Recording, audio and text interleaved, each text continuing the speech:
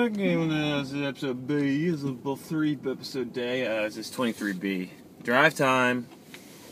Singing with me, drive time. Ah.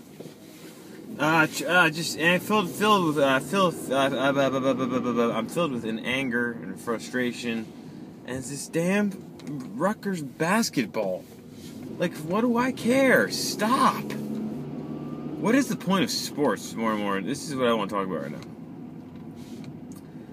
More, I don't understand really an- anymore. As I, you know, I as I get older, in a lot of ways, I seem like I'm more interested in sports in some in certain aspects. Certainly with Rutgers, even when I was a student uh, back ye- years ago, uh, for a long time I didn't give a shit. I just didn't follow. I didn't give a shit.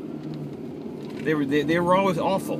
They were an awful sports pro. And then the football team won me over. And then I got involved in my my heart got involved in a lot of the athletics. You know, in by the, in, basketball and football, basically. That's really I don't. I the, the baseball team. I don't give a shit about the baseball team. I, they, I think the baseball is pretty good. I should I should follow them. And I always hang. I always hung my hat on the fact that they were just a good, uh, clean program. You know, for the most part, we're clean. Then they got in the Big Ten. It was exciting. I grew up as a kid. You know, I'm a Big Ten fan uh, from New Jersey. I, I love Michigan and Ohio State and that kind of culture of, of uh, big football schools and the pageantry and all that that nonsense is something you know that that tied me in. And then you know now now it seems like it's crashing down in the last couple days. But my point is, other interests that I have, like music and art and writing these are these are all interests that come with a kind of guaranteed no stress uh,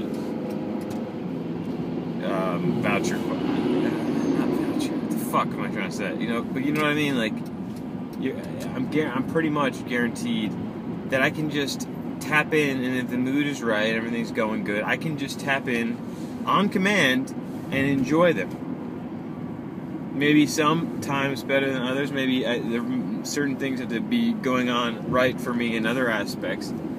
But I just don't. I don't need this shit. And I, and I told myself in the first one, if you listen to episode twenty three, I go seek it out. If you haven't, I said I'm not gonna. I'm not gonna fucking tune into anything, any garbage media today. And I meant no. And I tuned into so much media. Holy shit! I'm scanning Twitter for mentions.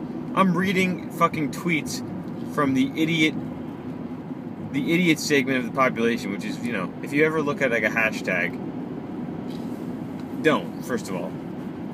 But there are people there are people who, who just don't even tweet original ideas. They just tweet like, oh you know, like like just just they, they don't they just tweet like a, f- statement over and over again. That's like not even I don't understand it. Like it's just like brainless people just it seems like they're not even real people, but they're some some conscious person made it made either either cut and paste. I don't know. I don't know. Are they typing it out themselves? Like the same fucking thought, slightly different. It's it's amazing, and driving me nuts reading this. And I said I wouldn't, so I'm trying. I'm trying once again now.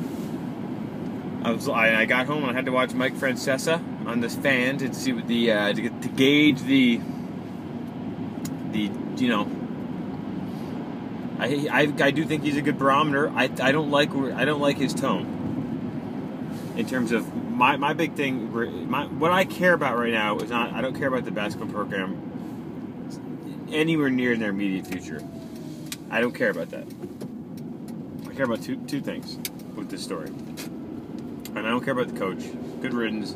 Good riddance to the basketball program for three years. I, I it's not gonna. They were, they were horrible anyway in, in two years they'll be in the Big Ten, and hopefully there'll be some sort of rejuvenation will, will uh, take place years after that. So I'm willing. That's fine. The things here that I don't want to get fucked up are the Big Ten. I don't I, I don't, know how or if it could or if, if this would pressure the Big Ten people to to not want another uh, scandal plagued university uh, in, even though this is different than than other others in the past and I don't and I don't think Pernetti, the AD, should be fired. So you know, and, and people can debate this, and it's a stupid. But my point is, it's a stupid fucking debate. It really has no impact on my life.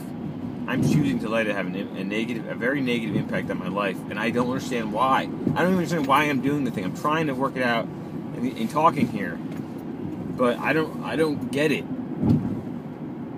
Like, just I, I'm and I tried this morning. I was like, just switch it off.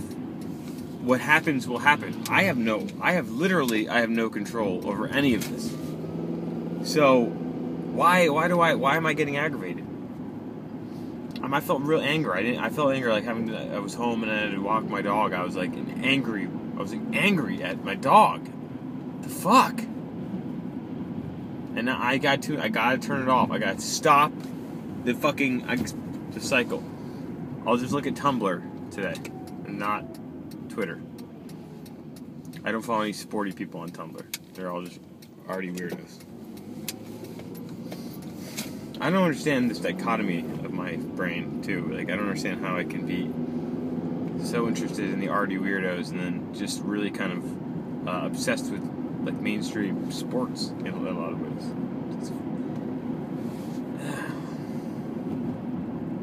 and it's like a, it's an enigma that causes me stress. Stress.